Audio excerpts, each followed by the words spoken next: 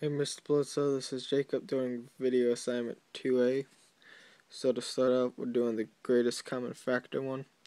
What you would do is practically see what divides into both of these evenly without being able to divide them again. So for example, 7 can divide into both of these and it would make 21 3 and 35 5 and you can't divide those anymore, so your answer would be 3 and 5. For the one difference between two perfect squares, I thought that might be a square plus b square. So what you would do for this would be a plus b and a minus b.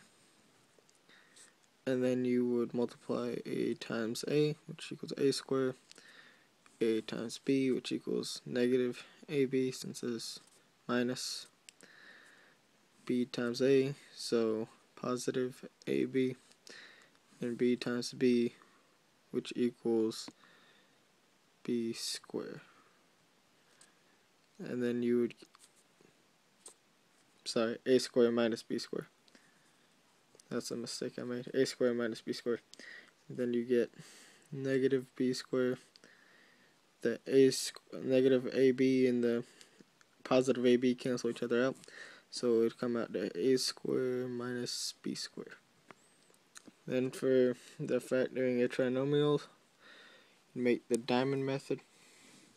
Put negative 18 on top, 7 in the bottom. And you'd find something that multiplies to negative 18, and when you add those two numbers up, it gets 7. So I would do negative 2 and 9 because negative 2 times 9 equals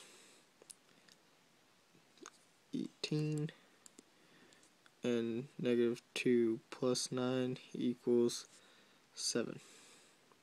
So your answer would be x x plus 9 and x minus and that would be your answer.